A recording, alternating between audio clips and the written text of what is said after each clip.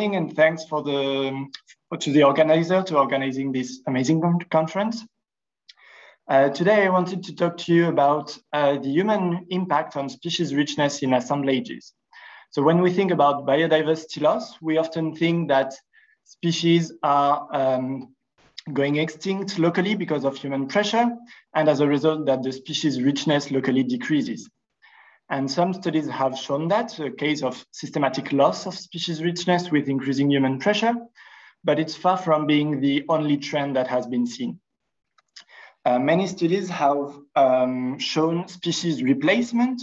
So the idea that some species are going extinct, but some species are colonizing. And as a result, we have a flat trend, no, no response of species richness uh, to human pressure. Some even say that if uh, colonization is faster than extinction locally, then you can have a peak of species richness at intermediate disturbance. And in some temporal study, they even found some systematic gain in species richness with increasing human pressure. And I came to this question during my PhD, where I was working on protected area effectiveness. And in two independent studies, I found, uh, so one with the North America BBS and one with eBird data across uh, tropical forests uh, globally.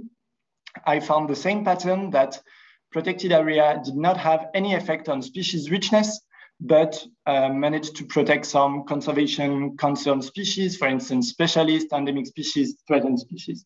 So the idea that protected area did mitigate biotic homogenization, but didn't have any effect on species richness. And so that gives credit to the species replacement hypothesis. And I thought, can I see with my data, can I see this trend? And especially I was interested in looking if it was consistent across human pressure or if there was some kind of threshold. So I took back this eBird data across uh, tropical forests, and I looked at the relationship between species richness and human footprint.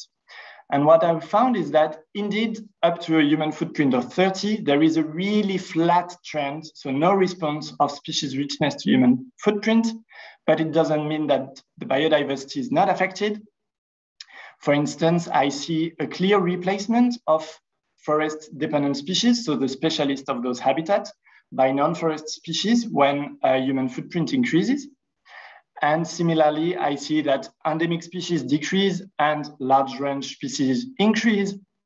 Threatened species decrease and are replaced by non-native species and species that are highly sensitive to human pressure, to human, yeah, to human pressure, they are replaced by anthropophilic species.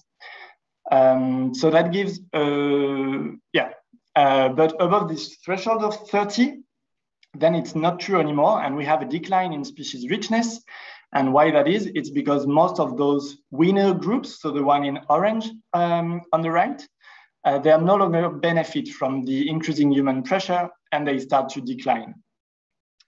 And so rather than just a species replacement, I suggest that there is first a replacement of species followed by a removal. Uh, so a two-step trajectory. And that uh, it, these results, they give a good uh, illustration of uh, biotic homogenization, and they suggest that even if biotic homogenization is already bad, if human footprint keeps increasing, it can be much worse. Um, and to conclude, I would like to say that I don't believe that one of these uh, trajectory is true and should rule out the other one. I uh, rather believe that it depends on some uh, variables uh, the main one being the relative rate locally of extinction versus colonization. So if you have really fast extin extinction and slow colonization, then you will have a systematic decline whatever happens. Uh, conversely, to have the replace then remove I presented or the species replacement, you need to have a really equate uh, extinction and colonization rate, which should be rare. And it's interesting that we see that often. And conversely, if you have really fast colonization, then you can have the intermediate disturbance or systematic increase. So together, those trajectory may help to understand uh, better the response of species richness and species in general to human pressure. Thank you very much. Thanks for uh, to all the eBird uh, data providers and the Cornell Lab for managing the, the database. And if we have time and you have some questions, I will be happy to answer.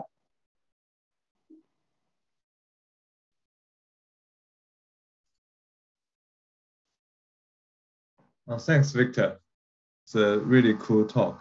And uh, Thomas, I also had the same question with Thomas. Thomas asked, how did you measure human footprint?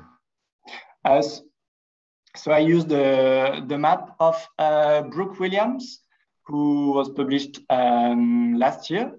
And it's a map that um, merged different uh, sources of human pressure. So there is the human density, croplands, uh, linear infrastructure, and several stuff that are combined to give a global, uh, globally consistent measure of uh, human pressure, human footprint. So they are combined into one measures, right? Yeah. The home. Yeah, exactly. Okay, cool. And uh, the second question is from Adam. Uh, is there something special about footprint measures as certain, such as it causes the decline? Uh, um, inside the, the human footprint measures? Uh, yeah. Um, so it's because it's a combined measure, it's difficult to trace what is the driver inside. Um, so we would need to go with the different variables individually. Uh, but globally, what we can say is that this threshold of 30 is about when uh, landscapes start to be urbanized. So there seems to be um, uh, a threshold where you start to urbanize landscapes. That answers the question. Yeah. And uh, there's uh, more questions on Slack. Okay, thank you very much. Thank you very much. Thank you.